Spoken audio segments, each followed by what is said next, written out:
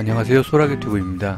지난 영상에서는 소라게 사육 시 응급 상황에 대해서 말씀을 드렸는데요. 오늘은 주의사항에 대해서 말씀드리고자 합니다. burrow한 소라게입니다. 소라게가 burrow를 한 이유는 크게 두 가지로 나뉩니다.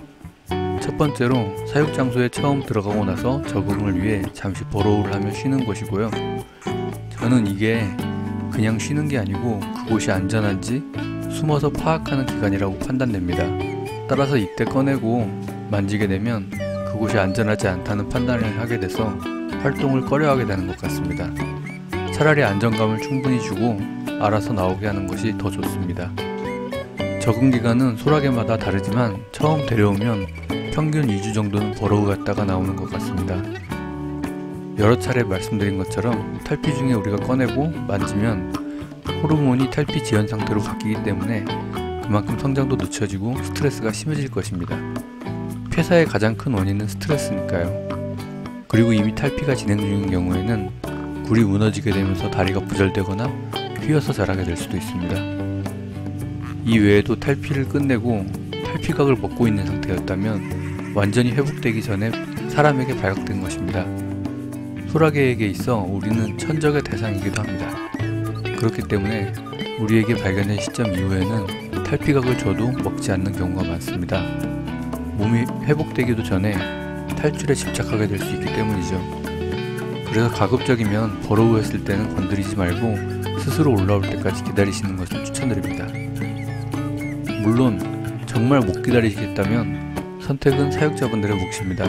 하지만 그렇게 해서 탈피 중인 소라게가 다치게 되거나 혹은 잘 꺼냈어도 더 이상 탈피각을 먹지 않아 회복이 덜 될 수 있는데요. 이렇게 되면 일정 기간 후에 폐사를 겪을 수 있다는 점을 미리 인지하고 계시는 게 좋을 것 같습니다. 잠수를 위한 물그릇 배치입니다. 딸기 소라게나 러그, 바이오 등의 해변종 소라게를 키우시는 분들은 물그릇을 크게 해서 잠수를 할 수 있게 해주시곤 하는데요. 문제는 이런 큰 물그릇들이 가끔 소라게 몸보다도 훨씬 높고 올라오는 경로가 가파른 경우가 많은 것입니다. 저는 물그릇을 깊게 해준 지 시간이 좀 많이 지났습니다. 그 사이 많은 시행착오를 겪었는데요. 우선 결론부터 말씀드리자면 위험하기도 합니다. 올라오는 길이 제대로 마련되어 있지 않는 상태라면 경로를 찾지 못하고 허우적대는 경우를 몇 차례 보게 되었습니다. 따라서 소라게가 충분히 오르내릴 수 있는 계단이 필요합니다. 물론 저처럼 계단을 제작하는 것은 귀찮기도 하고 어려울 수 있습니다. 해구석이나 현무암 같은 돌을 구매하셔서 물그릇 안에 넣어주시고 소라게가 올라올 수 있는 길을 배치하는 방법도 있습니다. 그런데 소라게가 발톱이나 다리가 여기저기 부절되어 있는 경우가 많습니다. 거의 처음 데려와서 탈피를 하지 않은 소라게들이 그렇지요.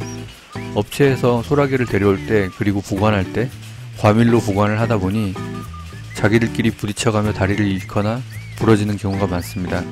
따라서 이런 경우를 감안해서 중간에 새로운 친구를 데려왔을 때에는 일정 기간이라도 물그릇을 낮은 것을 배치해 주는 것이 좋습니다.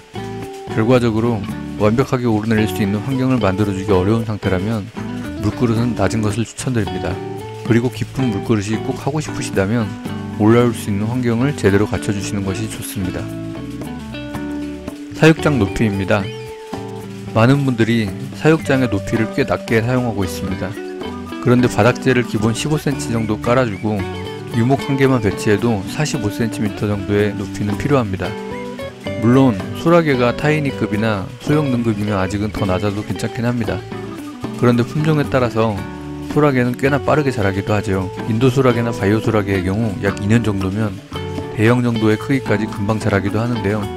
이런 부분을 감안해서 사육장에 중복 투자를 하는 것보다는 처음부터 높이가 높은 사육장으로 한 번에 업그레이드 하시는 것을 추천드립니다.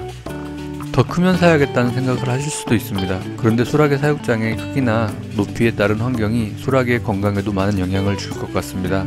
그렇기 때문에 더 크기 전에 좁은 환경 탓에 폐사를 맞이하게 될 수도 있다는 것이지요. 사람도 넓고 높은 천장의 집이 더 공기가 좋게 느껴지는 것과 동일하게 생각하면 좋을 것 같습니다. 야생에서 살던 동물이 조그마한 환경에 갇혀 있는 것이니까요. 과습으로 인한 곰팡이 발생입니다. 여러 영상들을 통해 몇 차례 말씀드렸던 내용입니다. 그래서 주의사항으로 한 번 더 말씀드립니다. 사육장의 습도 유지를 위해 계속해서 분무를 하시는 분들이 많습니다. 바닥재에 따라 다르지만 전 아스펜 베딩이나 호주 모래 기준으로 말씀드리겠습니다. 두 바닥재 모두 입자가 촘촘한 편입니다. 따라서 바닥재를 처음 깔아줄 때 습기가 이미 배어 있을 것입니다.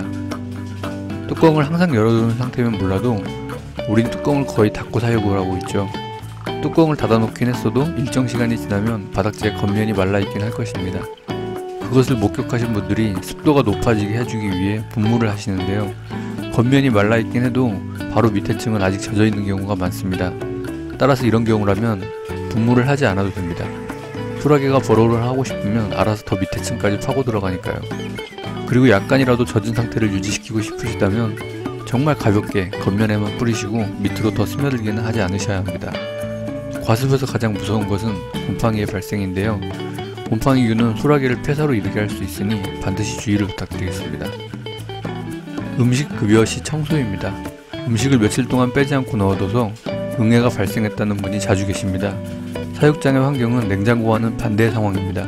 고온 다습하기 때문이죠. 여름에 실내에서 김밥을 먹다 말고 놔두면 금방 상하게 됩니다. 소라게 사육장은 그것보다도 더한 환경이죠. 그래서 가급적이면 음식이 상하기 전에 꺼내주는 것을 추천드립니다.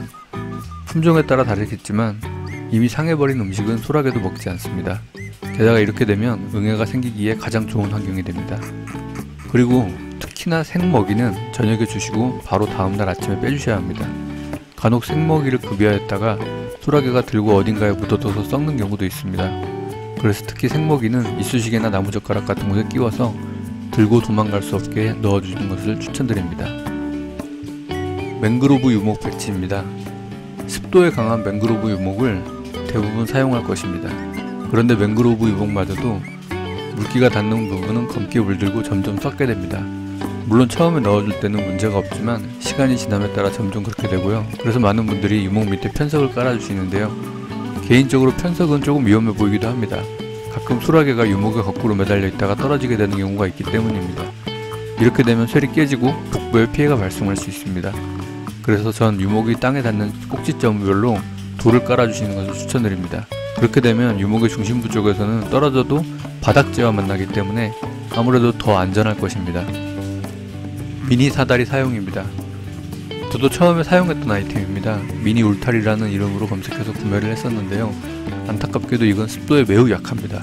딱 일주일만 넣어놔도 자세히 들여다보면 수많은 곰팡이가 피어있는 것을 보실 수 있습니다. 따라서 그냥 보면 많이 예뻐 보이지만 배치하지 않으시는 것을 추천드립니다. 실제로 이 사다리를 우리가 예상했던 것처럼 멋지게 타고 다니진 않습니다. 그냥 거꾸로 밧줄을 타듯이 매달려서 이동하는 경우가 가끔 볼 수 있는 정도입니다. 그래서 전 이것을 사용하는 것보다는 좀 더 습도에 강한 다른 제품들을 찾아보시는 것으로 추천드립니다. 사육장 늘리기입니다. 소라게를 더 많이 키우고 싶지만 과미를 싫어하시는 경우면 사육장을 그냥 늘리시는 경우가 있습니다. 그런데 사육장 한 개를 관리해도 물그릇을 갈아주거나 정비를 하시는 게 생각보다 귀찮을 때도 있습니다. 그럼 사육장이 두 개라면 안 바쁜 날은 뭐 할 수도 있겠지만 몸이 지치거나 힘들 때에는 계속 환수나 정비를 미루게 될 수 있습니다. 그래서 저도 많이 원하고는 있지만 사육장 두 개를 상시 운영하는 것은 추천하지 않습니다. 대신 사육장의 개수가 두 개인 것은 추천드립니다. 격리 때문입니다. 소라게를 사육하시다 보면 쇠 강탈이나 서열 싸움으로 우리의 바램과는 달리 싸움이 심해지는 경우가 간혹 있습니다. 그리고 이 외에도 새로운 친구를 데려왔을 때 메인 사육장에 바로 넣어주시는 것보다는 격리실에 2주 이상 두고 탈피를 한번 시켜주시는 것이 좋습니다. 업체에 있다 온 경우 소라게는 탈피를 한참 동안 참고 있는 경우가 대부분입니다.